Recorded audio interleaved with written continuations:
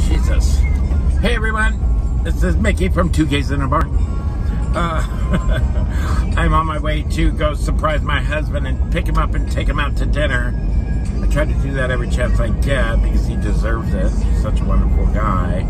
And he puts up with my shit. That right there, he deserves a medal for.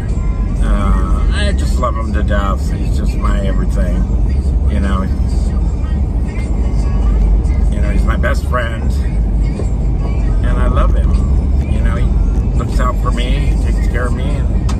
care of him, and we're just going to grow old together. So it's good to do things like this for your spouse or your partner. Uh, every now and then, just surprise them. You know, been a long work week for him. Works double time because he works my time, then he works the library time. It's just amazing. Um, he's my baby. So hopefully he's hungry. Hopefully he didn't go to dinner already. So he's not expecting me to show up. He'll probably be all like, are you filming? I'll be, yes, dear. But, um, you know, I uh, tell him I love him because I do. You know, make sure you tell your spouse, your partner, your children that you love them every chance you can. Even if you just think about it, tell them. You never know. Last thing I want them to know is that I love them.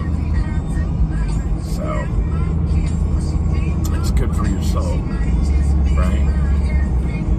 It's positive, it's being grateful and appreciative. That's what you have to do, is be appreciative of the people that are there for you and around you. you really need to There's not enough of that going on in the world and communication is huge you know communicate you got to. So turn that music down because it probably just blocked out everything I said. We're gonna go to Colatina exit. There's really hardly any restaurants around here like I mean in our town there's none. And in the town over there's like maybe two. And then you gotta go you know, like, then you got to, town over is, what, 12 miles away. That's where Kevin works. And they have like two restaurants. Um, not the best. Actually, not really good at all. So, I got to open my place because it will kick ass. They will come from all over to eat. Um, that's what they do. Someplace good opens, man, people come from all over you know, all over the mountains in Vermont. You know, they just appreciate a good meal, good affordable meal that feeds you well, good home comfort food. So, oops, thank you. Get out of my way. He better. Yeah, the lights are still on, so he's still here.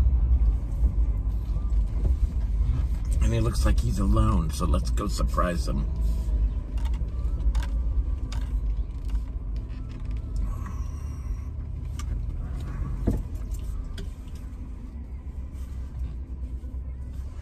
Right. We're here. So come with me. Hi, baby. Hi, baby. There's my baby. Hi, baby. I got cheese. You I got, got cheese. cheese. from the bread woman. That's the wedge. That doesn't Yeah. look like much of a wedge. It's a wedge. Oh my god. It's a wedge. Look at a wedge. See, it's a wedge like. Um, and um, He's so cute. it's a wedge. So I does that a mean a I loaf of came bread. over to take you to dinner? You did. I got to deliver a loaf of bread to Carol. Can we go to Carol's house real fast and Let's deliver go. a loaf of bread? Okay, wait a second. Let me lock up the library. I just have two computers to put. I was just about to lock up. Okay. Okay, we're on. We got to get there before nine.